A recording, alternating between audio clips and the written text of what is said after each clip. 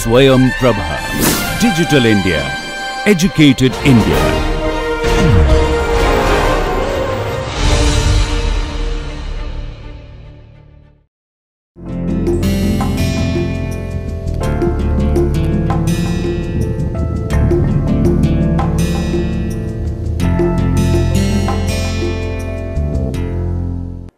Welcome back to the lecture series on bioenergetics of life processes.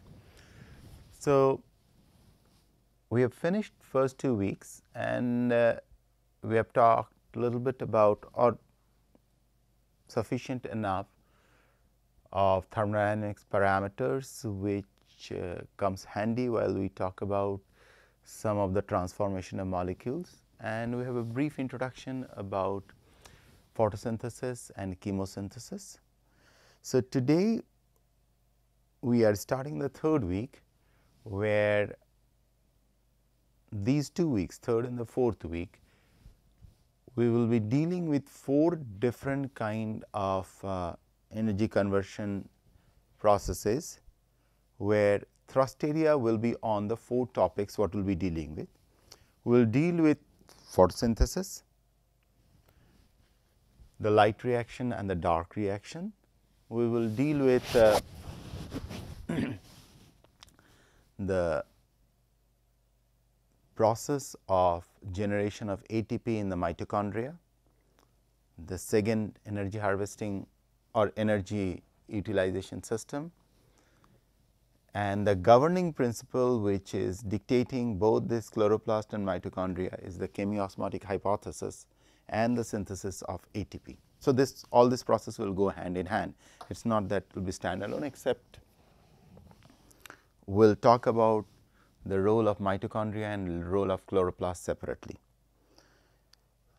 So, to start with our third week and the first lecture of our third week, as we have already talked, now we are not talking about chemical synthesis, we are talking about photosynthesis, light dependent synthesis. And in between, we will always have the comparative pictures of chemical synthesis coming into play. So, to start off with, the perennial source of energy is the sun. So, we needed some way or other to trap the sunlight and use that solar energy to conduct or do some useful work. So, in nutshell if I had to put it photosynthesis is a process where the solar energy is being used, the energy of the photons is being, is being used to do some useful work using all the natural ingredients. So, the photosynthesis the raw material for photosynthesis probably one of the most uh, elegant and one of the most genius move of nature. It uses carbon dioxide and water to start off its photosynthetic machinery. But here having said that carbon dioxide and water, I must say the second component water, this component come much later into the play of photosynthesis because water as a matter of fact act as a source of electron. What does that mean? So, what essentially photosynthesis does? In nutshell, if I if you have to see a photosynthesis, photosynthesis is a process where carbon dioxide from nature is being taken up by plants and it is converted into carbohydrates. So, once CO2 is transforming into carbohydrate, you are adding a lot of hydrogen into it. Okay. Now, that process of conversion of carbon dioxide to carbohydrate is a reduction reaction. In other words, you are adding a lot of electron into the carbon moiety. So, that reduction reaction requires a supply of electron from somewhere which will govern the system. Okay. So, essentially the process where CO2 is getting self assembled to a much more larger, much more energy rich molecule which is carbohydrate requires an extra piece of energy in the in terms of it needs electron to make this process happen and this electron source is the first electron source in this game is the water molecule. But if you replace water with another molecule which can be a source of electron, you can always conduct this process.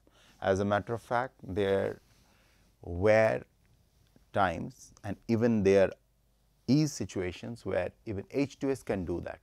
H2O, H2S okay, is the same thing as splitting both the molecules. Okay. So, let us start jotting down all the points what we are going to deal with. So, this is our okay. So, this is our week 3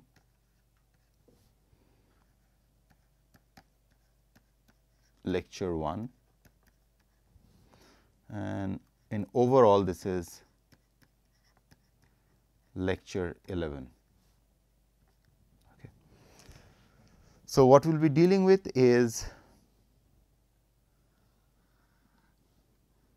this is our perennial source of energy which is involved in photosynthesis. Okay. Then we will talk about which happens in an organelle called chloroplast, Uh, organelle which is present inside the plant cells and it is believed that billions of years ago or maybe millions of years ago, this organelle parasitized into the plant cell and become part of it. Okay. Then this is the first level of this is the energy harvesting part what we will be dealing with.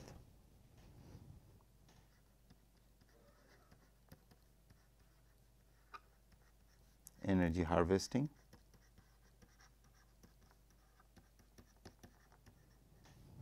Next inside the cell what we will be talking about. So, I am just putting it this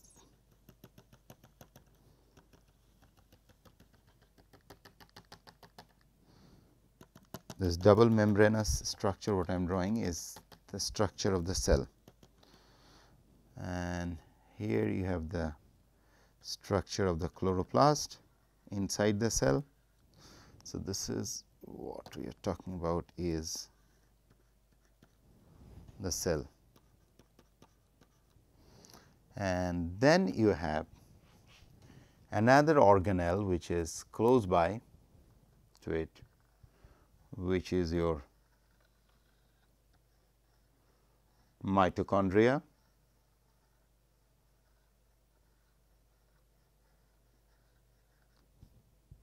Okay.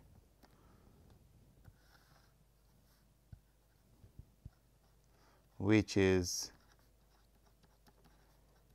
the powerhouse of the cell.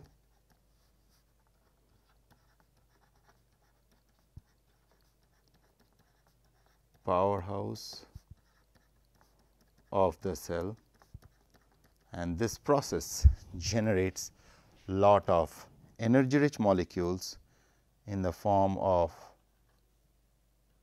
ATP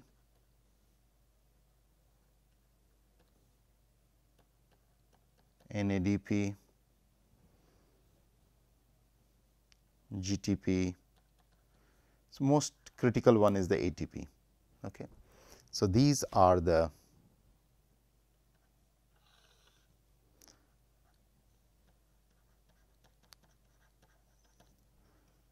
generation of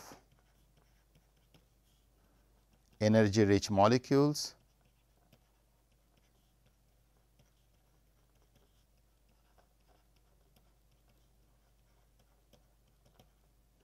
In the form of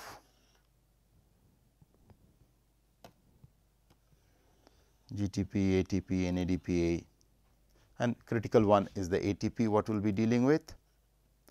And the just okay.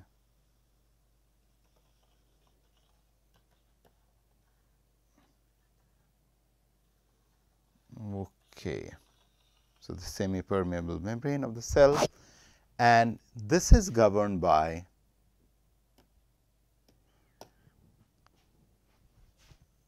a hypothesis which was given by Peter Mitchell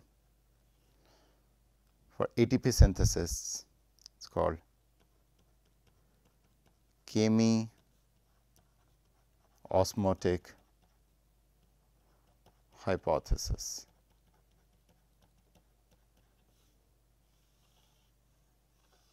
So, these are the four aspects what truly governs what we talk about the bioenergetics of life.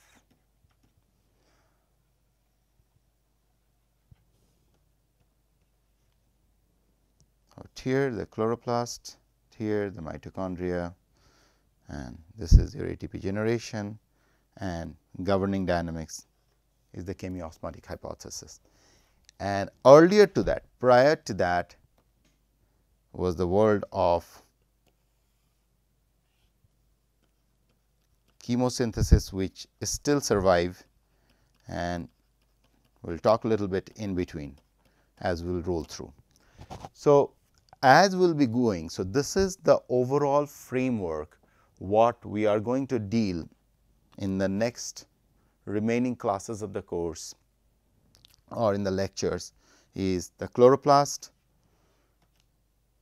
mitochondria, generation of ATP and the governing dynamics, the chemiosmotic hypothesis.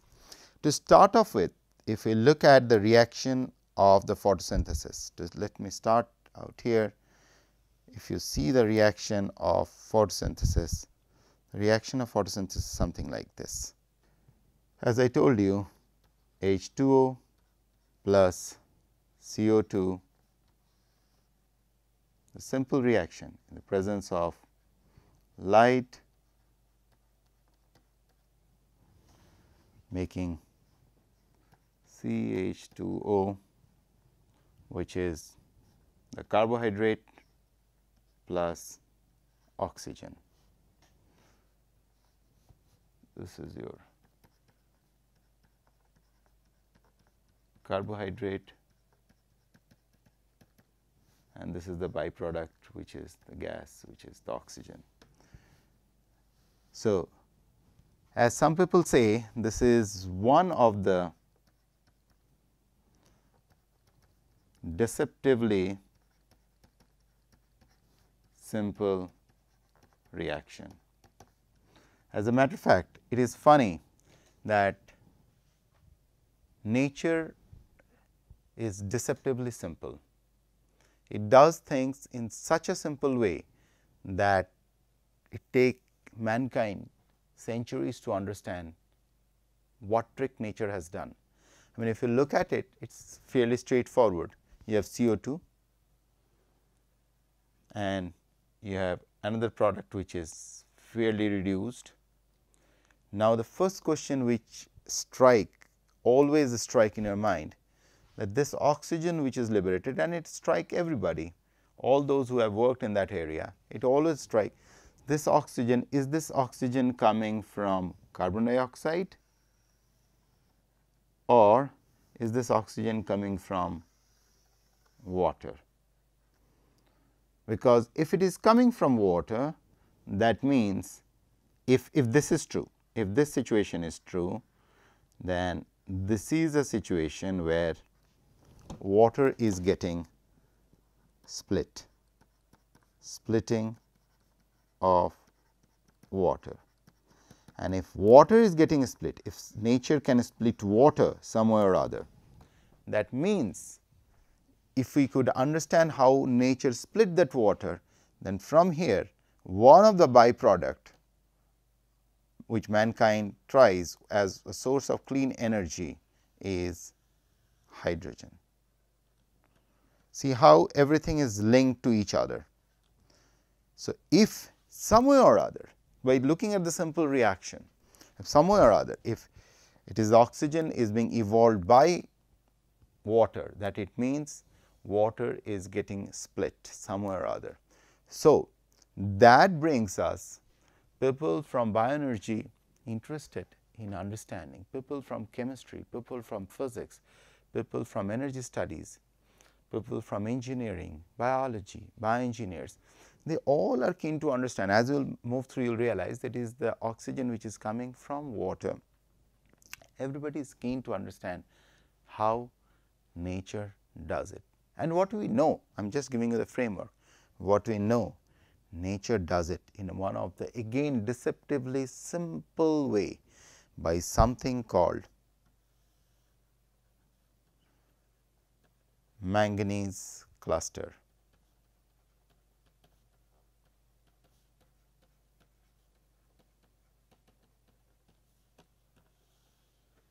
which is part of photosynthetic machinery. And to the best of our knowledge, what we know about manganese cluster is it consists of 4 manganese ion sitting at different oxidation state and somewhere or other it can entrap the water molecule in between it and could you know like a zipper can split it up, unzip it